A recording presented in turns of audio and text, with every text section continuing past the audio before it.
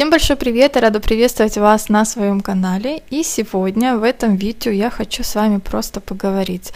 Это будет такое неформальное видео. На экране вы видите вышивку, местами, возможно, там будут появляться какие-то картинки. Это не ответы на какой-то из тегов, это просто мои некие рассуждения по определенным пунктам, ни к чему не обязывающее видео. Достаточно часто я упоминаю о том, что я человек одного процесса, но по факту получается, что это не совсем правда, и давайте я все же это поясню. Когда я говорю это с ваших экранах или в комментариях, я имею в виду, что я вышиваю один большой проект, да, то есть это вот как у меня была сирень, сейчас у меня основной процесс это сапожок, который, к сожалению, после того отчета он не продвинулся ни на один крестик, были более ну, я бы не сказала важные процессы, но именно те процессы, которые перетянули на себя одеяло. В общем, я надеюсь, что на тот момент, когда выйдет это видео, я уже вышиваю свой сапожок, потому что, честно, соскучилась, но вот, наверное, тот э, факт, что мне придется распарывать определенный участок, он меня где-то и тормозит, потому что мне этого не хочется делать, а с другой стороны это нужно сделать, распороть его, перешить и потом уже в дальнейшем наслаждаться процессом. Но получается, что в моих процессах, да, в моей вышивальной жизни находится не только этот сапожок, э, в частности, это елочные игрушки, да, я по-прежнему в этом совместном проекте, хоть я на какое-то время выпала из него, но тем не менее, так как я вышивала обычно в месяц по две игрушки, то, в принципе, я иду в таком, в хорошем количестве, да, если сравнивать по итогу. На данный момент я заканчиваю последнего снеговичка из этой серии, и уже в отчетном видео я вам покажу всю эту серию целиком, дам некоторые советы по вышивке на пластиковой конве и Укажу те замены ниток, которые я применила в данной работе, потому что я знаю как минимум несколько девчонок, которые захомячили себе эти схемы и просто хотят вышить этих снеговичков. Я просто озвучу свои замены, если им понравился именно тот результат, который у меня, то они могут с легкостью его повторить. Потому что все же он отличается от ключа. Ну, немножечко, но отличается. До недавнего времени еще одним таким параллельным процессом это была шовчиковая авантюра, видео о итогах этой авантюры вы уже видели на моем канале. Ну и до этого это была вышивка в ванну, это были кулоны, которые также вам очень полюбились, и мне вдвойне приятно, когда я читала комментарии, что я вдохновила некоторых девчонок, они тоже хотят себе подобные вещи, кто-то уже приобрел вот эти вот заготовки, а у кого-то, оказывается, они были в запасах. Это очень здорово. И когда вот ты читаешь, что ты кого-то вдохновляешь на нечто подобное, ты понимаешь, что твои работы, вот в частности, да, видео, все это не зря. Так что спасибо вам большое еще раз э, за то, что даете мне понять, э, что я не просто так это все делаю. И, кстати, да, еще был такой небольшой параллельный процесс. Это бискорню в стиле хардангер. Я вам ее не показывала, как-то, видимо, я забывала, когда я снимала какое-то видео, я забывала не сказать, но давайте я вам в этом видео ее покажу. Это небольшая бискорню. Я ее выполняла на Cashel 28 count а цвета льна, который я приобрела. И, кстати, здесь, в этой работе, я как раз и попробовала те нитки, которые я купила летом. Скорее всего, они все-таки предназначены для вязания, но, тем не менее, я ими вышила эту без корню и могу сказать, что они вполне годны для этого. Единственный такой недостаток, нить крутится, так как она, ну, скручена изначально, поэтому слишком длинную ниточку брать я не советую. Вот покороче, наверное, будет в самый раз. Выполнила я вот такой незатейливый рисунок. Я в этом направлении только учусь, и какие-то сложные элементы я пока побаиваюсь брать, но я думаю, что со временем я все же осмелею.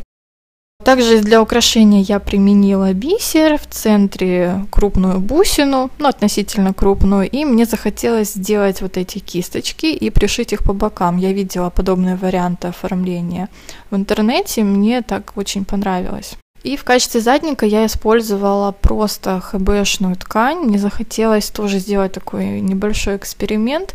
Вроде получилось неплохо. Не знаю, буду ли я в дальнейшем также экспериментировать над подобными вещами или уже попросту буду делать две вышитые заготовки их потом сшивать. Ну, время покажет. Ну, такая милая вещица была мною подарена одному хорошему человеку. Она а, этой девушке понравилась, и я осталась, в общем, довольна как э, самим результатом и тем, что я смогла порадовать одного человечка. Еще пару слов про свои процессы. Я хочу попросить прощения у тех а, девчонок, которые смотрят меня достаточно давно и которые знают, что я планировала в этом году отшить адвент-календарь для своих детей. Девчонки, к сожалению, я не буду этого делать в этом году, и этот проект я откладываю на следующий год. Все дело в том, что осталось не так много времени, то есть мои вот эти проекты, они немножко затянулись, и, честно, я не хочу начинать что-то новое, пока я не закончу сапожок. Я не хочу плодить долгострой, у меня их два. И, кстати, в будущем, в следующем году у меня есть желание их тоже закончить и как бы вот избавиться от таких скелетов в шкафу, если можно так сказать. Вот, ну и, честно, немножко у меня полгаз запал, я не хочу вышивать, э, делать этот адвент-календарь через силу, то есть себя заставлять, где-то там э, спешить. Честно, я этого не люблю и особо не приемлю вышивки, да, это все-таки творческий процесс. Поэтому я на днях посидела, подумала и решила, что я буду в следующем году постепенно, не спеша его делать, отшивать, пришивать, безусловно, показывать это все видео, потому что, возможно, это кому-то пригодится в дальнейшем. И уже к следующему Рождеству этот грандиозный проект будет готов, и, как мне кажется, может быть, даже это где-то и к лучшему. К следующему году и наш сын будет уже старше, ему будет около двух с половиной лет, и тогда он сможет активно поучаствовать вот во всех тех заданиях, которые будут в тех кармашках. В общем, э, да, планы планами, но меня, если честно, поглотила вот эта подготовка к Рождеству. Зимние сюжеты, они, безусловно, по-своему волшебные, как и сам праздник, Новый год и Рождество. Поэтому у меня вообще сейчас как какие-то все проекты зимние, да, эти игрушки, сапожок, и в дальнейшем у меня также будут я планирую вышить э, несколько работ для украшения нашего дома, чтобы это была именно такая рождественская тематика. Мне хочется вот именно их вышить да, на данный момент, в ближайшее время. Поэтому, наверное, они где-то перетянули одеяло на себя, и адвент-календарь немножко потерял, ну не то что свою актуальность, а именно мое желание, да, вот тот мой такой творческий порыв немножко иссяк. Но он не иссяк полностью, он именно иссяк на данный момент в том плане, что есть те работы, которые мне хочется отшить в первую очередь. Вот, вот как-то так. Иной раз мне задают э, такой вопрос, а если я в Инстаграм, э, дай ссылку на свою страницу. Э, девчонки, честно, меня в Инстаграм нет. И на сегодняшний день я вряд ли там появлюсь. У меня есть на это несколько причин, как в той песне пелось, да? И у меня на это пять причин. Но у меня не, не пять причин, у меня чуть меньше. Первая причина это в том, что мне не хочется слишком много времени тратить на вот эти все социальные сети. Я есть ВКонтакте, я, безусловно, есть на YouTube. У меня есть страничка в Одноклассниках, но я там появляюсь достаточно редко, поэтому это, в принципе, информация не актуальна. Моя страница ВКонтакте — это моя личная страница, то есть там все мои друзья и со школы, и с университета, и просто люди по жизни. То есть я не создавала какую-то отдельную страницу только для Ютуба. А еще такой момент, что я больше чем уверена, если я зарегистрируюсь на Инстаграм, я подпишусь, наверное, на очень многое количество людей, и это не только касаемо рукоделия, да, в частности, вышивки крестом, есть же еще и по хардангеру, и по тем же шовчикам, и что-то вообще не относящееся к рукоделию, мне кажется, что я просто пропаду, что я буду смотреть эти фотографии, и просто в этом всем утону и буду тратить неимоверное количество времени. И есть еще такой небольшой момент. Здесь опять же я сужу, наверное, по себе, и где-то не стоит этого делать. Я изначально э, заводила свой канал для того, чтобы снимать видео, чтобы посредством этих видео с вами делиться теми или иными процессами, готовыми результатами и так далее. И мне интересно именно видео узнавать о каких-то новых вышитых работах, о тех же покупках, о каких-то идеях, да, обо всем об этом. Наверное, мне бы было не так уже интересно, если бы я изначально видела фотографию. Той же отшитой работы, там, или нового процесса, или еще что-то. То есть я уже увидела, да, как бы этот фрагмент. Возможно, где-то я бы уже какие-то отдельные видео не смотрела, потому что, ну, я уже видела э, то, что человек сделал, я почитала его комментарии, что он написал под этой вышивкой. И вот, наверное, во избежание вот этого всего я тоже отчасти не регистрируюсь в Инстаграм. Мне хочется все-таки, чтобы вот эта интрига, по крайней мере, для меня сохранялась, и я, в принципе, придерживаюсь того же самого. В контакт я выкладываю уже фотографии готовых изделий, и по большей части, когда уже снято о них видео. Вот, потому что, как я повторюсь, это моя личная страница, и я не хочу, как бы, да, ее засорять какими-то промежуточными фотографиями или там ссылками на видео, потому что далеко не всем моим друзьям это интересно, ну и как-то я я не особо в этом вижу смысла. Все-таки я выкладываю готовые свои работы, это отчасти и для самой себя. У меня есть отдельный альбом, где я, в принципе, вижу то, что я сделала за какой-то период или вообще за свою рукодельную жизнь, потому что порой что-то забывается. А так ты пролистнул фотографии, о, какая я молодец, м-м, я и вот эту работу сделала, круто, а я уже, да, может быть, где-то и подзабыла. Особенно это касаемо то, что я вышла на подарок. Я ничего не вижу как бы плохого в этой сети, и я нормально отношусь к тому, что в многих девчонках там сделаны страницы. Опять же, есть девочки, которые не ведут э, свои видеоканалы, то есть они выкладывают фотографии туда, и там тоже делаются какие-то совместные проекты. Это все здорово. Пока что я обхожу это все стороной. Иной раз я захожу на Инстаграм, когда кто-то из вас там кидает ссылку, вот э, когда недавно я слушала Илону Илка, и она в инфобоксе оставляла ссылку на девушку по Хардангеру, я зашла, я с удовольствием посмотрела на ее работы, да, действительно красиво и заслуживает внимания. Иной раз я могу также по ссылке зайти и на ваши видео, ой, господи, на ваши страницы. Но не у всех у вас э, открыты аккаунты. Вот в частности, как-то я пыталась посмотреть фотографии у Ольги Теплицкой, но у нее закрытый аккаунт, то есть я ничего не смогла там, естественно, увидеть. Ну, как бы бывает такое. И, наверное, под э, конец я хотела вам предложить для просмотра несколько видео, несколько таких осенних, э, теплых видео. Как раз сейчас у нас конец сентября, а может быть и начало октября. Я не знаю, когда я выложу это видео. Ну, в общем, у нас сейчас за окном осень, у всех она разная.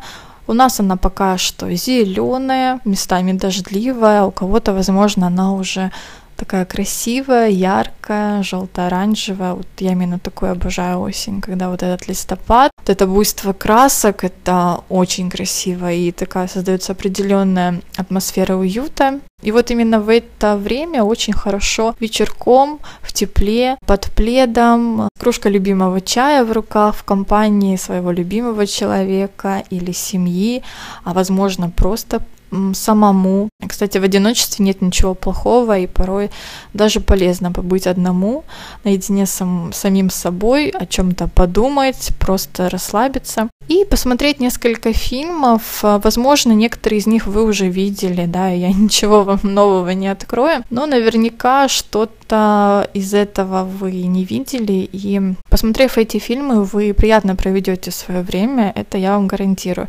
Я особо не буду останавливаться на этих фильмах, я просто вам скажу их название. Первый фильм это «Сладкий ноябрь», это фильм 2001 года, и в главных ролях э, снялся Киану Ривз и Шарли Стерон.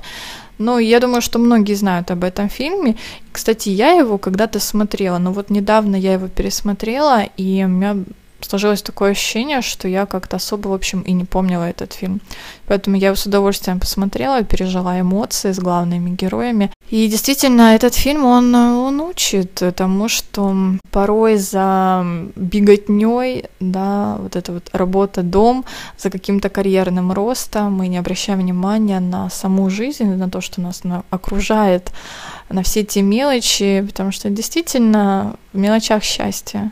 Вот, и та красота, которая повсюду, как я уже говорила, что ну, не бывает некрасивых мест. Каждый город, каждый уголочек нашей планеты, он по-своему прекрасен. Еще такой тоже очень э, интересный фильм, он по-своему трогательный. Это фильм «Мачеха» с Джулией Робертс. Это фильм 98 -го года. Я его посмотрела недавно впервые. Мне очень понравился есть над чем подумать. Да, этот фильм, он именно показывает э, жизненную ситуацию, которая ну, оно и в реальной жизни может быть, да, и тот исход, который э, показывается в этом фильме, действительно заслуживает внимания и, возможно, где-то, ну, в общем, заставляет задуматься. Это, знаете, порой очень полезно.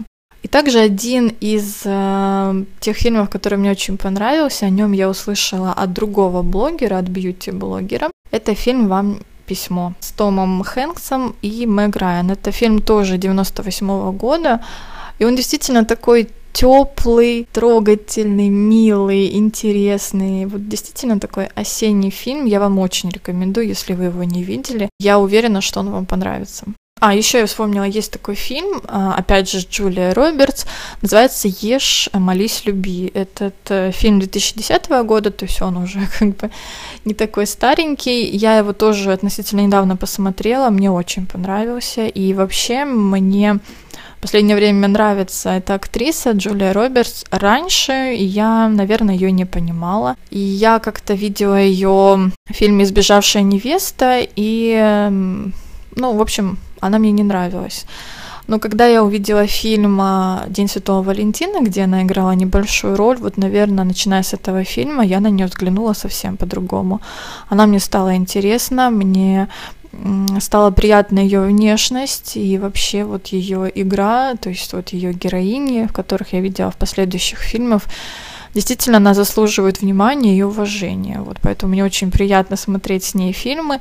И вот этот фильм «Ешь, молись, люби», он достаточно интересный, рассказывает о том, что если вы где-то запутались, да, возможно, в отношениях э, с любимым человеком или где-то в работе, да, какие-то там перипетии, в общем, вы стоите на перекрестке, да, и вы просто не знаете, что вам делать. Вот, наверное, один из лучших вариантов — это взять паузу, взять тайм-аут и уехать уехать куда-то в спокойное место и там от, отдохнуть от всех вот этих забот и спокойно подумать, как жить дальше и что делать. В общем, интересный фильм, я вам также его рекомендую. Он достаточно легкий и приятный. На этом, наверное, буду с вами заканчивать такую спонтанную произвольную болталку. Я надеюсь, что вам понравилось со мной в таком плане общаться. Если есть какие-то вопросы, которые вас интересуют, и эти вопросы, возможно, требуют какого-то рассуждения, обязательно пишите мне в комментариях. Я сниму подобное видео еще раз. Почему бы нет? На этом я буду с вами прощаться. Я желаю вам отличного настроения, приятной теплой осени и увидимся в моем новом видеоролике. Всем пока!